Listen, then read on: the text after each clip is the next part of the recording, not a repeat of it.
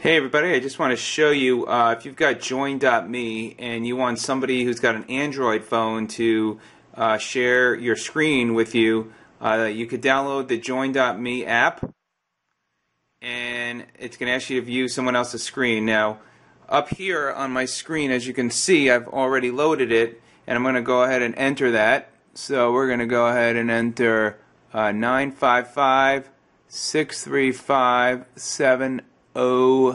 09 and share screen. And it let's see we're going to go ahead and load up. And as you can see I'm going to go ahead and flip it.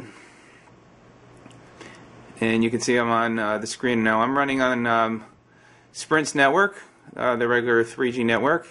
And I have to say I'm really impressed. Now you could follow along here uh, that um, it's actually almost uh, real time and uh, I can actually if I want, I can open up um,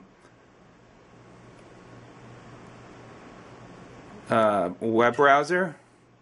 So you can see there. I'm going to close this out. Just move my mouse around just so you can see. Uh, there is a little bit of a delay, but uh, not too bad. Uh, looks like more for opening and closing. It takes a little bit longer, but moving around the mouse is pretty quick. I'm going to go ahead and close this box. So pretty impressive. So uh, Join.me is free for uh, many of the basic features.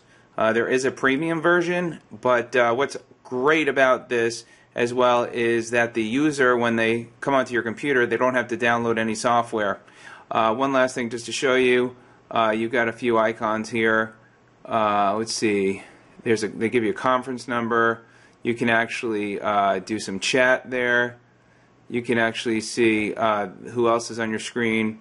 And then here I'm going to go ahead and exit out, close, join me, and there you go. You're all done. So this is uh, a great uh, solution that uh, Join.me, which is uh, created by LogMeIn, has uh, done a fantastic job. So I hope this is of help to you.